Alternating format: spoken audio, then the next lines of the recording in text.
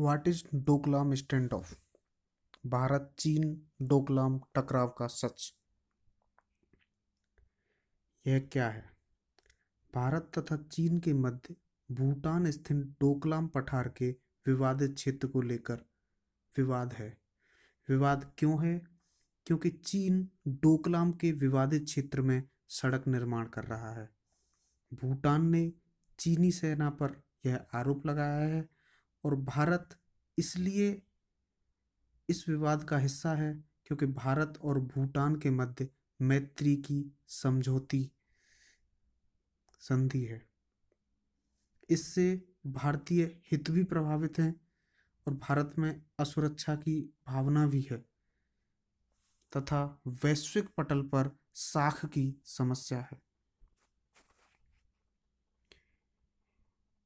अच्छा, दक्षिण पूर्व एशिया के दो दिग्गज राष्ट्र, भारत और चीन के बीच भूटान का पिसना उसके लिए किसी बुरे सपने से कम नहीं है। चीन दुनिया का सबसे बड़ी जनसंख्या वाला राष्ट्र है तथा भारत दूसरी सबसे बड़ी जनसंख्या वाला राष्ट्र है। जबकि भारी जनसंख्या के कारण दोनों ही मुल्कों के पास बड़ी सैनिक क्षमता है। कुछ विद्वान 21वीं सदी को एशिया सदी के नाम से भी संबोधित कर रहे हैं। तो इसका पूरा कारण भारत और चीन की तीव्र विकास दर को ही दिया जाता है। भारत के पहले प्रधानमंत्री पंडित जवाहरलाल नेहरू ने जब गुटनिरपेक्षता को भारतीय विदेश नीति के माध्यम के रूप में अपनाया तो अपने पंचशील के सिद्धांत को वैश्विक शांति और सहयोग के क्षेत्र में एक नवीन दर्शन के रूप में स्थापित करने की कोशिश की थी। शांतिपूर्ण सहअस्तित्व का उनका दार्शनिक दृष्टिकोण पचास के दशक में दक्षिण एशिया का भविष्य तय कर ही रहा था कि उन्नीस सौ बासठ में तिब्बत को लेकर भारत एक अनचाही युद्ध में फंस गया, जिसमें उसे हार का सामना भी करना पड़ा। भारत की भौगोलिक अवस्थिति ने भारत को अपने ही पड़ोसी देशों के साथ दुश्मनी, उपहार में दी है। देखते हैं ये डोकला में स्टैंड ऑफ़ क्या है। Doklam is strategically located tri junction of India, Bhutan and China. Doklam विवाद कैसे शुरू हुआ कि भूटानी सेना ने जून 2017 में चीनी सेना पर आरोप लगाते हुए कहा कि चीन डोकलाम पठार की तरफ़ एक विवादित क्षेत्र में सड़क निर्माण कर रहा है। इस विवादित क्षेत्र से भारत के हित भी जुड़े हुए हैं, क्योंकि यह बिल्कुल सिक्किम के पास है, चुंबी घट, चुंबी घाटी के पास। अच्छा अतः भारत ने भी चीन की इस हरकत पर नाराज़गी प्रकट की। भारत ने संकट में भूटान का साथ दिया और चीन से निर्माण कार्य रोकने को कहा। चीन डोकलाम पठार पर अपना दावा करता है, जो कि 89 वर्ग किलोमीटर की एक पट्टी है और चुंबी घाटी के पास स्थित है।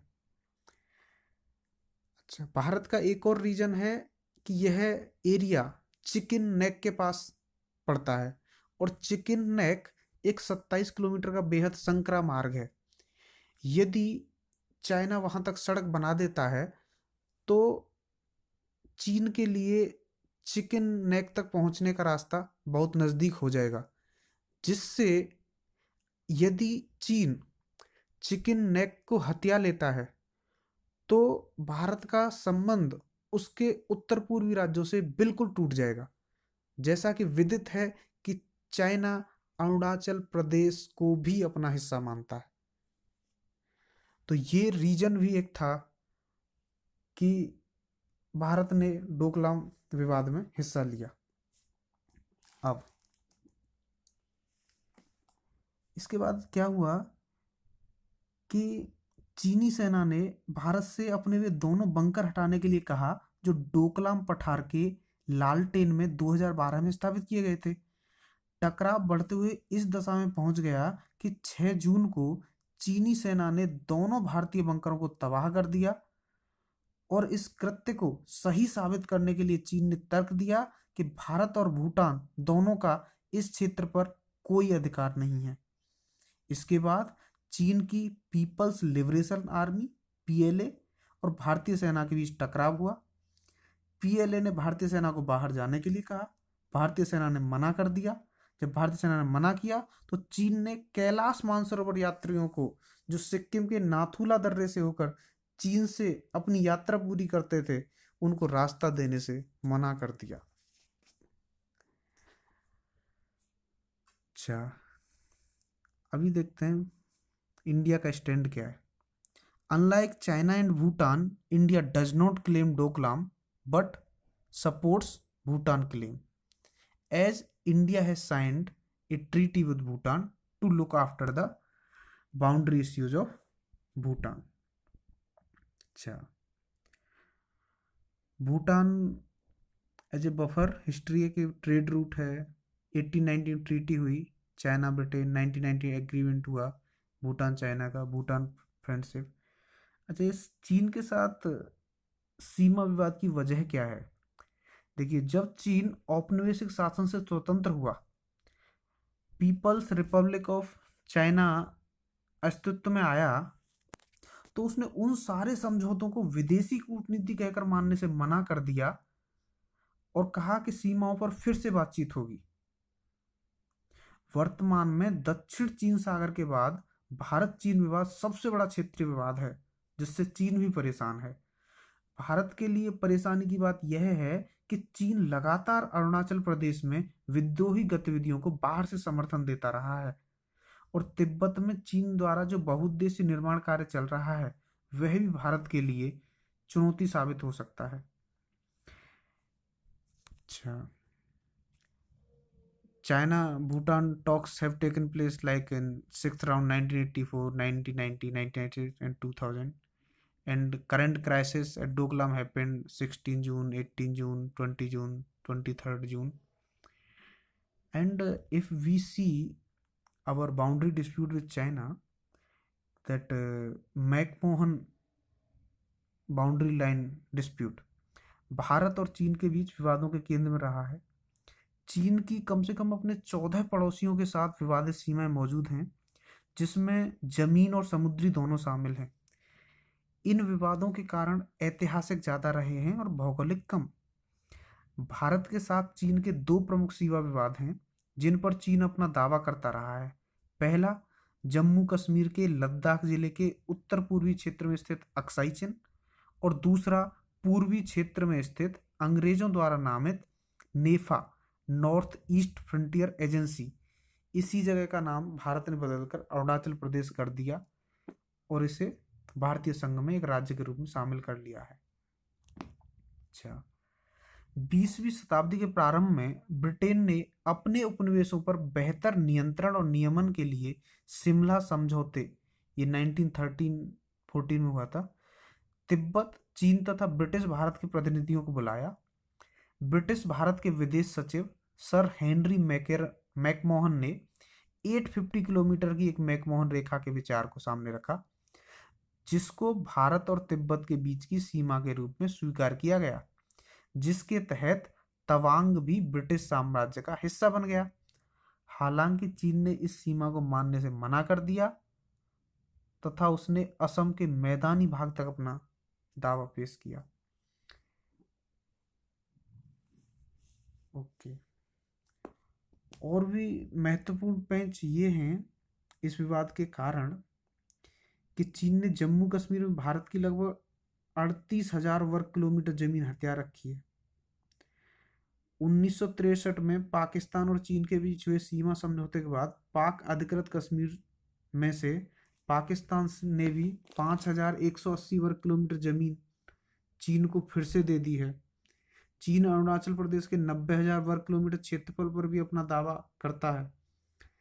चीन ने तो यहाँ तक कहा है कि वह अरुणाचल प्रदेश को भारतीय संघ के हिस्से के रूप में स्वीकार ही नहीं करता। तथा वहाँ विद्रोहों को बढ़ावा व समर्थन देकर इन उत्तर पूर्वी राज्यों में असंतुष्टि की भावना बनाए रखता है। इसके अलावा चीन अपनी मोतियों की माला परियोजना के द्वारा भारत को चारों तरफ़ से घेरने की कोशिश भी कर रहा है, जिसमें सबसे बड़ा कदम चीन की वर्तमान one belt, one belt, one road परियोजना के तहत पाक अधिकृत कश्मीर से चीन, पाकिस्तान आर्थिक गलियारे सीपीईसी का निर्माण है, जो कश्मीर के गिलगिट बाल्टिस्तान से होकर निकल रहा है। तो यह भारत की सॉवरेनिटी को हर्ट करता है। सीपीईसी परियोजना के अंतर्गत पाकिस्तान में चीन द्वारा ग्वादर में एक बंदरगाह बनाए जाने की भी योजना है, जिसके द्वारा चीन आसानी से दक्षिण एशिया के देशों को निगरानी तथा नियंत्रण में रख सकेगा। तो यह भारत के लिए खतरा है। अच्छा। डोकलाम तकरार का जो प्रमुख कारण है, वह भी यही है कि वहाँ पर जिस सड़क का निर्माण चीन द्वारा किया जाता है, किया जा रहा है उसके बाद सिक्किम तथा अन्य उत्तर पूर्वी राज्यों को अन्य भारत से जोड़ने वाला चिकन नेक के नाम से प्रसिद्ध संकरा गलियारा चीन की पहुँच में आ जाएगा। यह कोई अनजान तथ्य नहीं है कि उत्तर पूर्वी राज्यों में अनेक ऐसे विद्रोही संगठन हैं जो भारतीय राज्य में श्रद्धा ही नहीं रखते। तो यह भारत के लिए एक बेहद चिंता का विषय हो सकता है। तो आगे यदि देखें, भूटान का क्या व्यू रहा इसमें?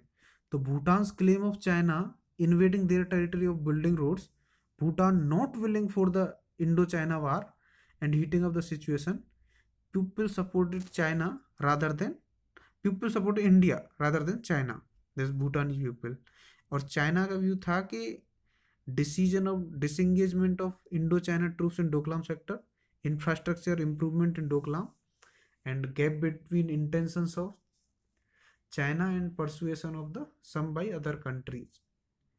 International media ने क्या बोला जैसे न्यूयॉर्क टाइम्स की हेडिंग रही कि agreement of both countries to end the stand off but China still claiming the disputed territory Daily Mail ने लिखा कि withdrawal of positions of the two sides after flag meetings CNN ने लिखा कि India China agree to डिसंस disengagement of Doklam border dispute.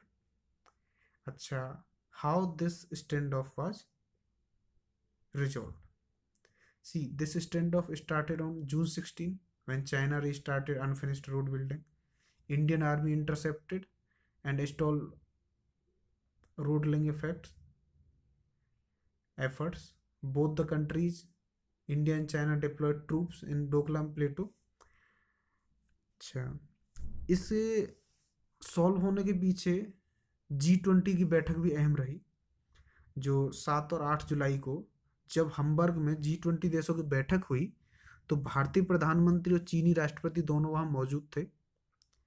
कयास लगाए जा रहे थे कि दोनों देशों के राष्ट्राध्यक्षों के बीच मुलाकात हो सकती है, तथा डोकलाम तकरार को लेकर शायद दोनों मुल्क किसी नतीजे पर पहुँच सकें।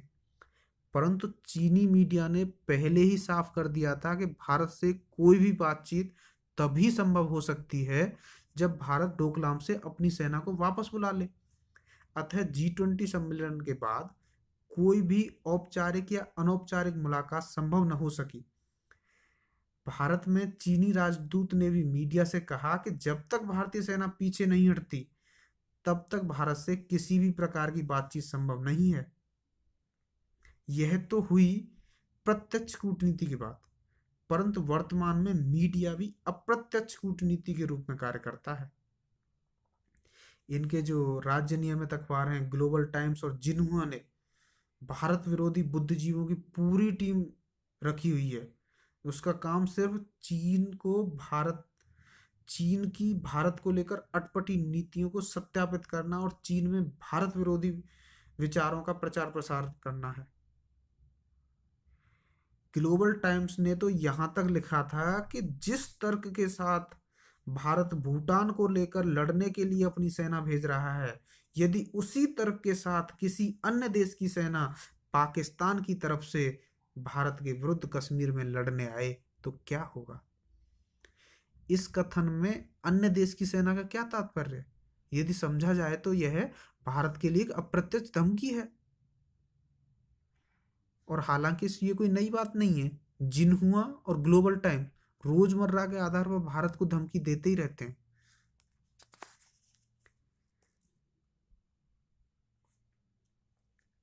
अब यदि बदलते परिप्रेक्ष्य में देखें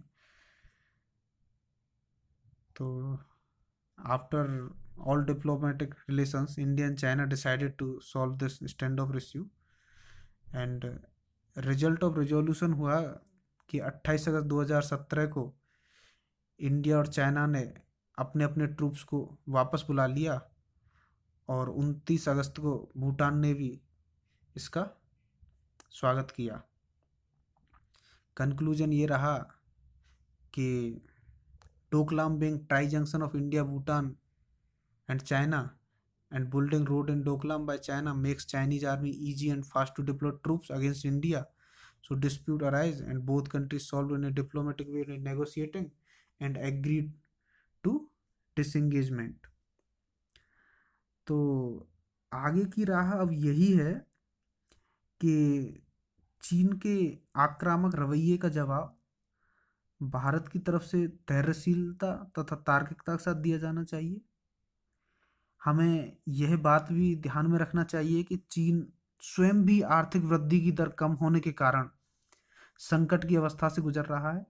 अतः वह भी किसी भी अनचाहे युद्ध में नहीं फंसना चाहेगा। भारत भी एक उभरती हुई अर्थव्यवस्था है। किसी भी युद्ध की स्थिति में पड़ने का अर्थ पिछले पाँच सालों की प्रगति पर पानी फेरने जैसा होगा।